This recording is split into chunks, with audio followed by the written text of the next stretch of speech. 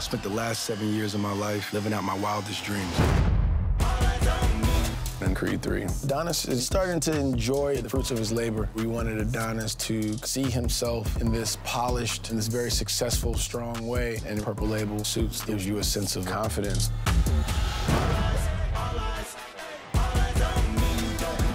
I was really excited to see Adonis dressed to the nines. The way Ralph Lauren tailored the suits, you know, the way they're made, it just exemplified that type of luxury and style that we wanted to see from Adonis Creed.